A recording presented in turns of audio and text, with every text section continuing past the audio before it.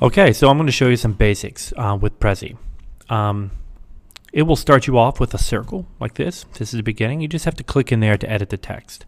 Now you can zoom way, way out here. As you can see, I'm zooming so far that it's, how can I find it? You just click on the little home on the far right hand side. And you can also zoom way, way, way, way, way in. Look at that. Click on the home and it brings you, puts everything back in perspective so you can find things. So I'm going to want to add something here. And you can add text just by clicking anywhere. You know, you just click anywhere and it adds text. Uh, once you've got text added to your Prezi, you can change the color of it. You can change, make it larger, make it smaller. You can change, uh, is it justified to the left, to the right, to the center? You get lots of things you can do there.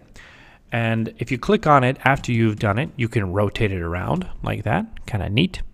You can also make it bigger or smaller just by just by grabbing the anchors. And of course, you can click and drag and move it anywhere.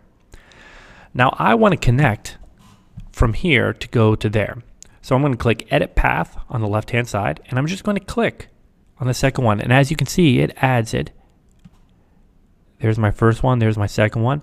Now I'm going to click Present, and so I can get an idea what it looks like. This is a good idea to make sure that it works the way you want it to do.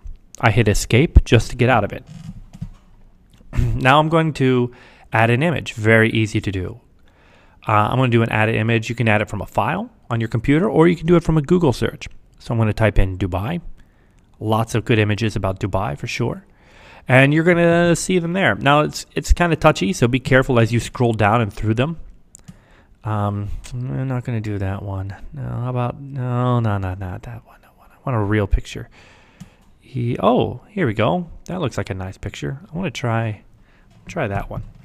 And so when you find a picture you like, you, all you have to do is click on Insert. And it will take the picture and download it from Google and put it in your Prezi. This could take a little bit of time. So I'm going to speed up the film here. Um, now, as you can see, I already added a path for number three there. And so I'm going to click Edit Path. So I'm not working with paths anymore. I'm now just working with editing. I'm going to move this over here. And there you go. I've got a picture, nice picture in there, which very easy to do.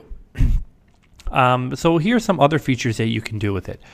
Uh, you can add media, a video file uh, or an audio file or from YouTube.